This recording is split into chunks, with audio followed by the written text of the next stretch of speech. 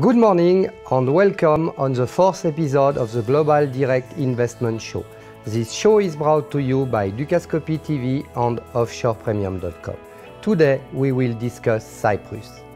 Cyprus is ranked number 67 on the World Bank Ease of Doing Business Index and it is ranked 47 on the Heritage Foundation Freedom of Business Index. Cyprus is also ranked number 5 by Knight Frank as one of the 5 best destinations in the world to relocate and 27 by Forbes magazine as one of the best destinations to do business. So about Cyprus. Cyprus is a hub for trading because of its central location. It is a bridge between Europe, Middle East and Asia. Cyprus has also one of the European best corporate tax regime, most favorable. Finally, Cyprus has very modern infrastructure, good telecommunication, speedy internet, two international airports, two seaports. As to foreign direct investment, foreign direct investment policy in Cyprus is very open most business sectors are open to 100% foreign direct investment and foreign investors are in most sectors treated the same than local investors. What about business sectors? One of the main business sectors in Cyprus is finance. Many companies are setting up funds asset management company, forex company or banks. Why? Because Cyprus has a very comprehensive, very modern uh, financial laws which are all compliant with European directives. Another business sector in Cyprus is shipping. 50 of the biggest shipping companies in the world have representative office or offices in Cyprus. Finally, import-export and trade are also one of the big business made in Cyprus.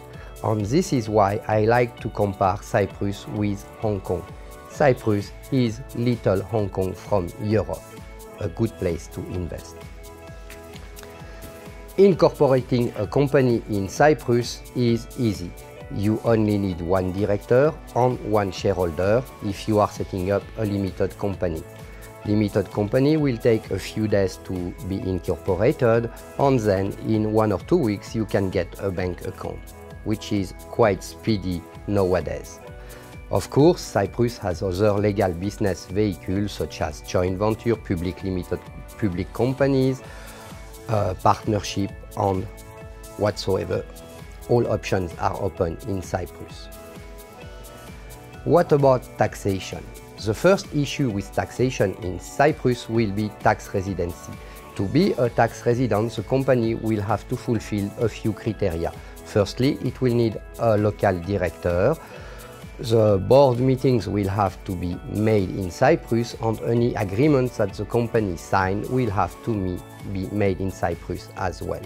This being said, the benefit of a tax resident is that it will benefit of the 50 and more double tax treaty which Cyprus has signed with other countries. It will also benefit of all European legal system. How are companies taxed? Alors, tax resident company will be taxed on their worldwide income. If you are a tax non-resident company, you will only be taxed on the income you made in Cyprus. What is the corporate income tax rate? Cyprus has one of the lowest, lowest corporate income tax rate in Europe at 12.5%. Also, a lot of income are not taxable. For example, income providing from dividend, from shares the company owns in other company, uh, income providing from the sales of shares and so on. In terms of withholding tax, uh, Cyprus has also a very favorable regime.